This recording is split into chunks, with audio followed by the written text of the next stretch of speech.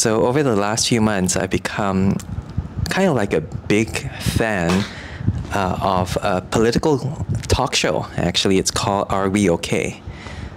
And it's between uh, Mr. Money and Ong Kian Ming. Um, just uh, these two guys, except that one is a regular guy. You know, he works in finance, not really a politician. But the other guy, Ong Kian Ming, is a former minister, so former uh, government deputy minister of trade and industry, I think.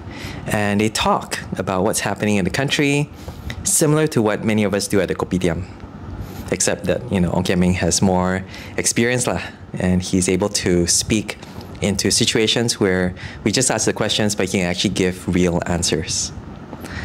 And something about yesterday's episode really intrigued me because uh, it was talking about how um, I won't name the parties, but two factions in government and in opposition uh, were often fighting with one another. That's not surprising, right? And they were making statements about how each was causing problems.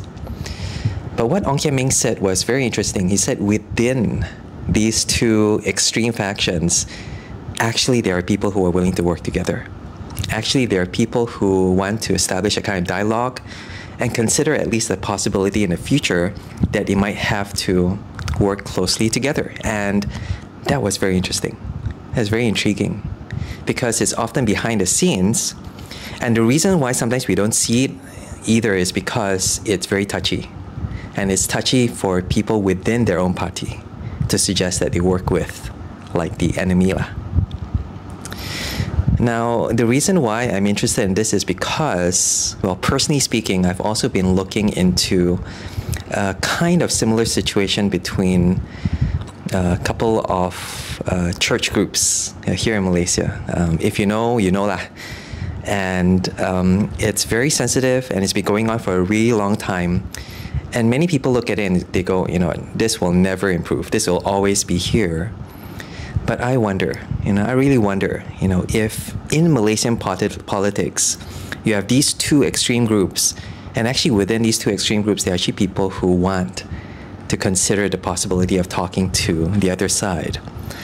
I wonder if actually that might be the equivalent in this kind of like Christian church situation. There actually are people who don't just pour out hate on the other side, who may disagree completely, but still you know, are willing to say, hey, maybe we should sit down and talk. And also that the reason why this hasn't really happened yet is because people within your own party is kind of like sabotaging you. Some people are just so strong and, and against any idea of this that even if you suggest it, they'll shoot you down.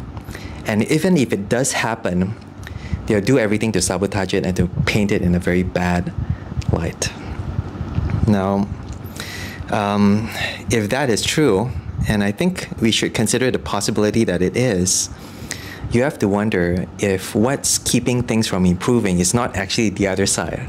It's actually not the enemy per se, but actually our own people, people within our own group who just want to either stubbornly keep things the same or for selfish reasons want to have that enemy on the other side so that they can be the hero.